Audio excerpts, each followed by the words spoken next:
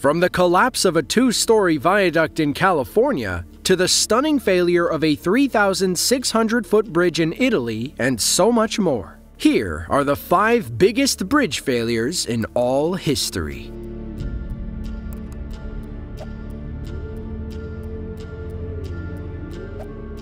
October 17, 1989, began as a great day for a baseball game. The sun beat down over California as the Oakland Athletics prepared to play the San Francisco Giants. It was the Battle of the Bay, and every baseball fan in the country tuned in to see who'd win.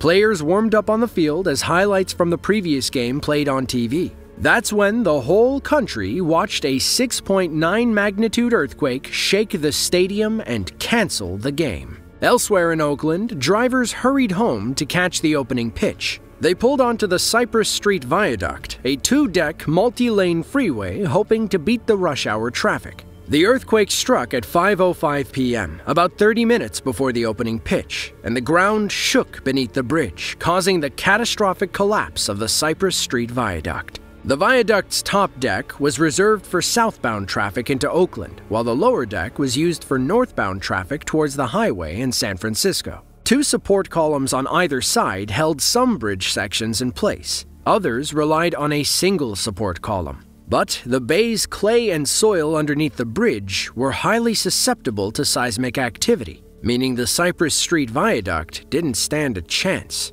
Sadly, 42 people lost their lives in the bridge collapse, but many believe the death toll could have been much higher if not for the World Series game. The ball game was a big deal in the Bay Area, and many people left work early to get home in time. About 195,000 cars would drive north and south across the bridge on a typical day. You can imagine how busy it gets during rush hour traffic. There was no rebuilding of the viaduct after the quake, and Oakland tore the rest down. Though you can still visit the Cypress Freeway Memorial Park at 14th and Mandela Parkway, built in memory of those lost during the earthquake. As for the World Series, the Athletics swept the Giants in four games.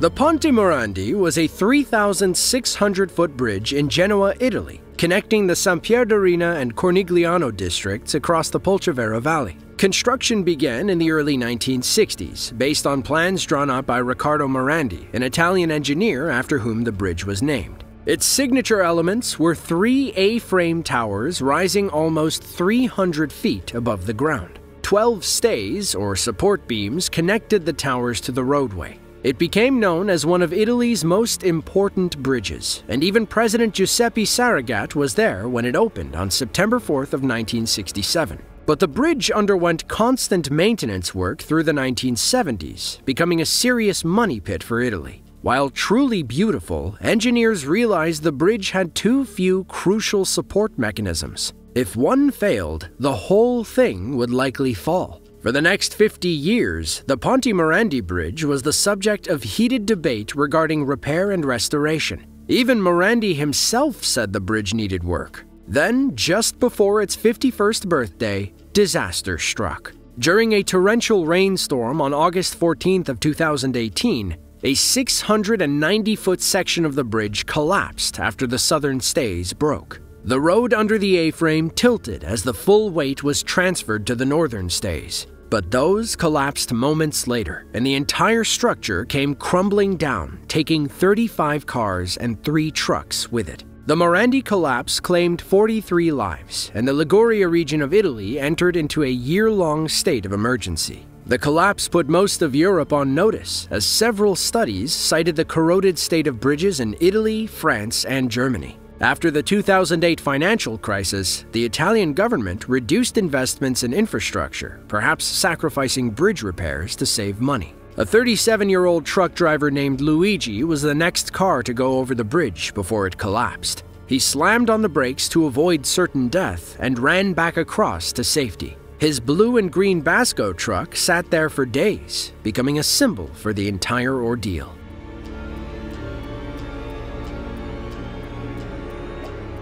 The Mississippi River flows over 2,300 miles from a glacial lake in northern Minnesota to Louisiana and the Gulf of Mexico. At least 130 bridges cross the river along the journey, not counting those currently under construction or in disrepair. But one bridge, the I 35 Mississippi River Bridge in Minneapolis, Minnesota, made headlines after a catastrophic failure in 2007. Also known as Bridge 9430, this eight lane steel bridge carried Interstate 35 west across the Mississippi River, about a half mile downstream from St. Anthony Falls, also known as the only natural waterfall on the Mississippi River. It opened in 1967 and was the third busiest bridge in the state, carrying about 140,000 vehicles every day and connecting the Bohemian Flats district to Marcy Holmes, the oldest neighborhood in the city. On August 1st of 2007, the Mississippi River Bridge suffered a catastrophic failure as rush hour traffic crawled through a handful of open lanes.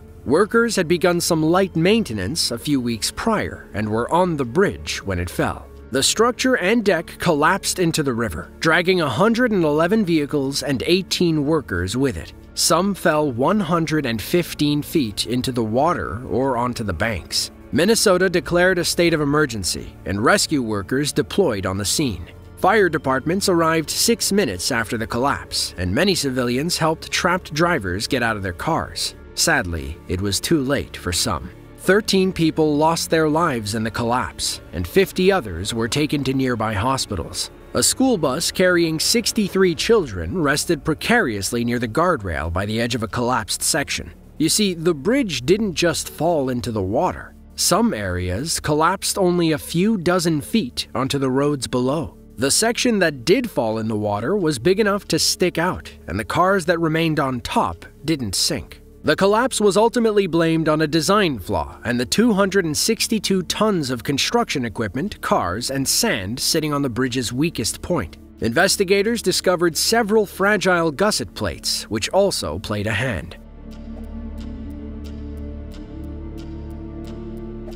There was a time when the Sunshine Skyway Bridge connecting St. Petersburg and Tampa, Florida, was the longest bridge in the United States. Today, the Sunshine Skyway is dwarfed by structures like the Manchac Swamp Bridge, the Chesapeake Bay Bridge, and the Jubilee Parkway. But none of those bridges have ever suffered a catastrophic failure. And while that's nothing to write home about, it still cements the Sunshine Skyway in the history books. People have been trying to build a bridge over Tampa Bay since the 1920s, now that more and more people were casually driving cars. But the Great Depression and both World Wars prevented any progress. Then, in the 1950s, construction began on the Four Mile Bridge. It officially opened for traffic on September 6th of 1954. At 4 miles, it was one of the longest bridges in the world and the longest bridge in America. In 1971, to ease traffic, they built a sister bridge to carry southbound traffic. The original bridge was dedicated to northbound traffic. It operated without notable incidents for nine more years. Then, the 80s happened. On May 9th of 1980, the perfect wind and rainstorm hit Tampa Bay. Winds blew at 60 miles per hour, and punishing rain created near zero visibility. A 606 foot, 19,000 ton freighter called the Summit Venture crashed into a support column on the southbound sister bridge. 1,200 feet of concrete fell 150 feet into Tampa Bay, taking six cars, a pickup truck, and a Greyhound bus with it. 35 people lost their lives, 26 of which were on the bus. The only survivor was the pickup truck driver, who bounced off the Summit Venture before landing in the water. His truck didn't sink immediately, and he could climb through the window. Sailors on the Summit Venture pulled him to safety, he sued the shipping company and won a $175,000 settlement, or about a half million in today's money.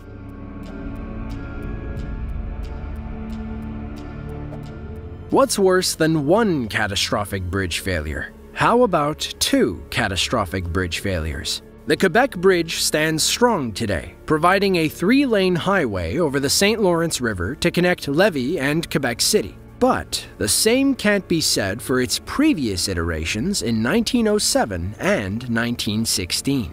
Before 1919, when the Quebec Bridge finally opened, the only way to cross the St. Lawrence River was to take the ferry. That, or you could wait for the winter ice bridge. As part of the Transcontinental Railway project, Canada began discussing a bridge over the St. Lawrence in 1887. Construction got underway by 1904, with the southern portion humming along. But something was wrong. The bridge itself was too heavy. It'd never support the weight it was built to carry. Of course, you couldn't just call someone and tell them there's something wrong. Engineers relied on telegraphs, letters, and word of mouth to spread the word. Stop building the bridge. But it was too late. In 1907, after four years of work, the southern portion collapsed into the St. Lawrence River in 15 seconds. 75 workers lost their lives in the collapse, most of them Mohawk steel workers. They redesigned an even bigger bridge in 1916, and construction made it a little further this time.